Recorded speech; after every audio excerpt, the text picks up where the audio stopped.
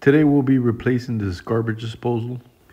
If you look at the drain hose from the dishwasher, it's pointed downward and you don't want that because dirty water can drain into your dishwasher.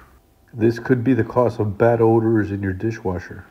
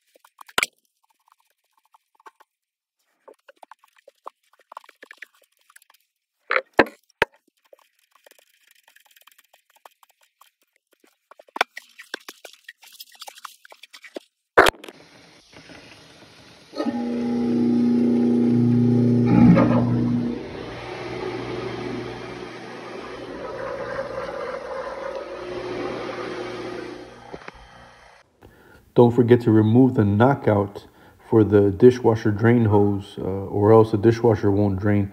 And here you can see how it's now pitched upward.